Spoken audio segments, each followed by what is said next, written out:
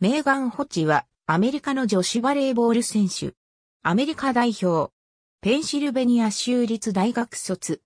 ポジションはアウトサイドヒッター。アメリカ領バージン諸島のセントトーマス島生まれ。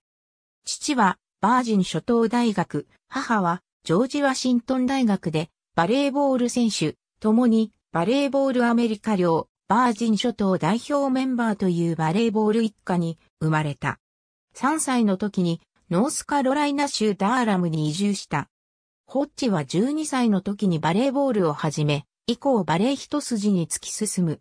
高等学校はリバーサイドハイスクールに進学した。この4年間でアタック戦596本、ブロック319本、ディグ647本、サービスエース286本を記録し、ノースカロライナ州史上最高のバレーボール選手として脚光を浴びた。この間、アメリカ合衆国ユース代表及びジュニア代表に招集され、2004年にプエルトリコで開催されたノースカ選手権では MVP とベストアタッカーに選出されている。進学時期になると全米のバレーボール強豪校からオファーが殺到する中、ホッチはペンシルベニア州立大学への進学を決めた。大学在学中のハイライトは、2007年に NCAA 選手権でスタンフォード大学を破り優勝したこと。同年と翌2008年には NCAA の全米注目選手に選出されている。2010年より本格的にシニア代表として国際大会に参戦し、同年10から11月の世界選手権に出場したが目立った活躍はできなかった。2010から11シーズンは、セリエ A1 のグソビッタ・コルテーゼと契約した。